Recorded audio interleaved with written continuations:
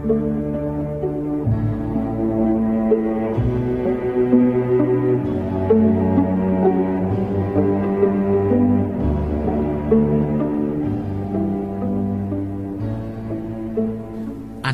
Carnegie Song thân ông Andrew Carnegie nghèo tới nỗi khi sinh ông không có tiền mời y sĩ hay cô mổ.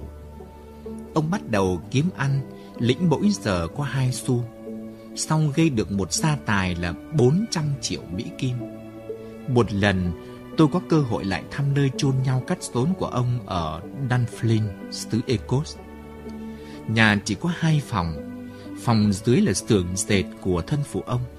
Phòng trên gác nhỏ xíu, tối tăm, thấp, sát mái, làm chỗ ăn ngủ cho gia đình.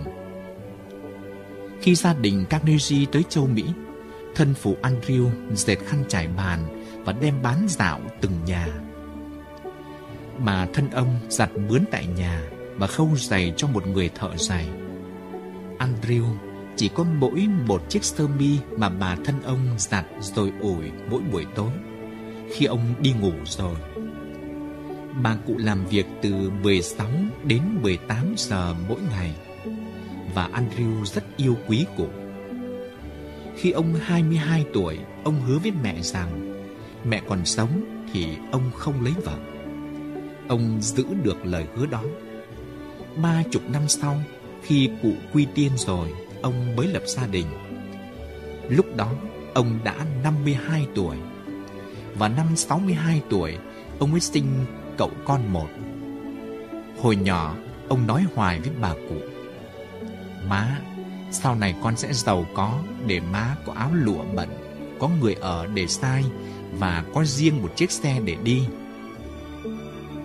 Ông thường bảo nhờ bà cụ mà ông thông minh, có nhiều khả năng và lòng yêu mẹ đã là nguyên động lực giúp ông thành công rực rỡ.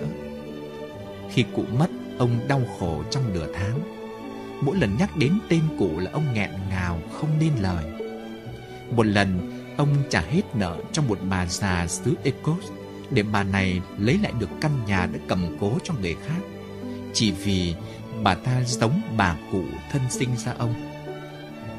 Ai cũng cho rằng Andrew Carnegie là ông vua thép mà ông không biết chút gì về sản xuất thép. Hàng trăm nghìn người làm việc cho ông chắc chắn hiểu kỹ thuật đó hơn ông.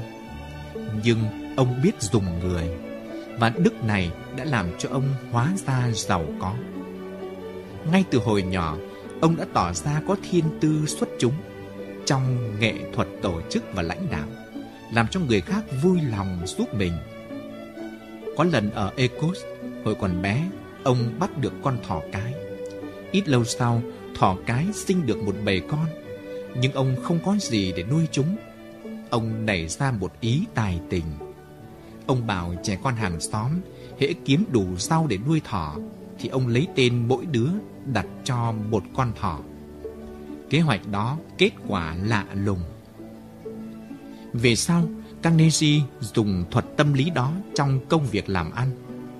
Chẳng hạn, ông muốn bán đường ray cho công ty xe lửa Pennsylvania Railroad. Hội trưởng công ty hồi đó là Engert Thompson. Andrew Carnegie cho cất ở Pittsburgh một xưởng lớn rát mỏng thép mà ông đặt tên là xưởng thép Engert Thompson. Tất nhiên là ông thomson khoái chí và bằng lòng buôn liền những đường ray của xưởng mang tên mình. Hồi đầu, Andrew Carnegie là một anh đưa điện tín ở Pittsburgh. Mỗi ngày lãnh được 5 cắc mà ông đã lấy làm mãn nguyện lắm. Nhưng ông không biết châu thành Pittsburgh và sợ mất việc, nên phải học thuộc lòng tên và địa chỉ của tất cả các hãng trong khu vực buôn bán.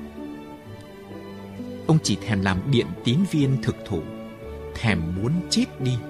Và buổi tối ông học chữ móc Sáng tới sớm để tập đánh tin. Một buổi sáng có tin quan trọng đặc biệt. Ở Philadelphia Người ta gọi Pittsburgh Gọi mấy lần mà chưa có điện tín viên nào tới.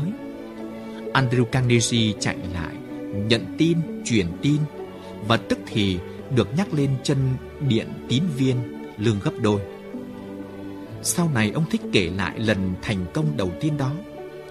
Một bạn thân của ông tóm tắt luân lý trong chuyện thành một câu ngộ nghĩ dưới đây mà chúng ta nên ngẫm nghĩ kỹ. Muốn trở nên một người ra sao thì phải hành động như đã làm con người ấy. Nghị lực không gì thắng nổi và lòng cao vọng phóng túng của Andrew Carnegie làm cho nhiều người để ý tới ông. Công ty Pennsylvania Railroad dựng một đường dây thép tư. Andrew Carnegie được công ty dùng làm điện tín viên, rồi ít lâu sau lãnh chức thư ký riêng của giám đốc phân khu. Một ngày nọ, một việc bất ngờ đưa ông lên con đường giàu sang. Một người ngồi bên cạnh ông trong toa xe lửa đưa cho ông coi bản đồ một kiểu toa mới. Có chỗ nằm mà người đó mới vẽ xong. Hồi đó ghế nằm chỉ là những băng dài đóng vào hai bên hông toa chở hàng. Bản đồ mới giống kiểu toa ngày nay. Carnegie có óc sáng suốt đặc biệt của người Ecos. Ông hiểu rằng sáng kiến đó hứa hẹn được nhiều. Ông vay tiền hùn thêm một phần vốn quan trọng vào sĩ nghiệp, được hưởng những số lời lớn. Và năm ông 25 tuổi, nội việc hùn vốn đó đã đem cho ông 5.000 Mỹ Kim mỗi năm. Một lần khác, một chiếc cầu cây trên đường Hòa sai cháy và sự giao thông phải ngưng trệ trong nhiều ngày. Lúc đó Andrew Carnegie làm giám đốc một ngành trong công ty. Ông hiểu rằng những cầu cây sẽ bị loại và thép sẽ là vật liệu trọng dụng. Ông vay tiền lập một công ty làm những cầu sắt vật tiền lời ùn ùn vô mau quá làm ông gần hoa cả mắt. Ông bó cái gì là cái đó biến thành vàng. Ông lên như diều. Vận may, một vận may không thể tưởng tượng được bám biết lấy ông.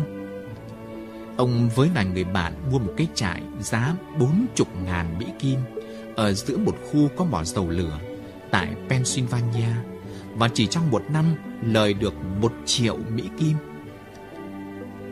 Khi con người quỷ quyệt đó 27 tuổi thì lợi tức mỗi tuần đã được ngàn Mỹ Kim rồi. Mà 15 năm trước chỉ kiếm được hai cắc rưỡi mỗi ngày. Việc dưới đây xảy ra năm 1862. Lincoln đương làm tổng thống nội chiến đương dữ dội, sắp có nhiều sự thay đổi lớn. Biên giới mở rộng ra, biển Tây xa xôi bắt đầu được khai phá. Những đường xe lửa sẽ đặt khắp trong nước, nhiều thành thị lớn sẽ dựng lên. Châu Mỹ lảo đảo trước một kỷ nguyên mới mê hồn. Và Andrew Carnegie, với những lò nấu thép phun khói và lửa của ông, bị lôi cuốn trong ngọn thủy triều đương dưng đó ông dựng được một gia tài khổng lồ ngoài sức tưởng tượng. Vậy mà, ông không phải là hạng người làm chết bỏ. Ông thích la cà, ông bảo rằng những người cộng tác với ông biết nhiều hơn ông và chính những người đó kiếm tiền cho ông. Người Ecos có tính biển lận. Ông là người Ecos mà lại không biển lận khi chia lời. Ông để các cộng tác với ông hưởng chung và chắc chắn ông là người đã gây cho nhiều người nhất thành triệu phú. Trong đời ông, ông chỉ được học có 4 năm, vậy mà ông viết 8 cuốn sách về du ký, tiểu sử, cảo luận và biên khảo kinh tế. Ông tặng 60 triệu Mỹ Kim cho các thư viện công cộng và 68 triệu nữa cho công việc cải thiện giáo dục. Ông thuộc hết thảy những bài thơ của Robert Burke và có thể đọc thuộc lòng trọn bộ những kịch Macbeth, vua Lear, Romeo và Juliet, nhà buôn ở Venice của Shakespeare. Ông không theo một tôn giáo nào cả, mà tặng 7.000 đàn ống cho các giáo đường. Ông đã tặng tới 365 triệu Mỹ Kim. Các nhật báo tổ chức những cuộc thi và thưởng người nào chỉ được cho ông cách hữu ích nhất để tiêu hết đống vàng của ông vì ông đã tuyên bố rằng, chết giàu là chết nhục. Các bạn vừa nghe xong câu chuyện Andrew Carnegie trong cuốn 40 gương thành công tại trang www.gươngzanhnh.vn. Mời bạn chọn nghe câu chuyện tiếp theo. Xin cảm ơn.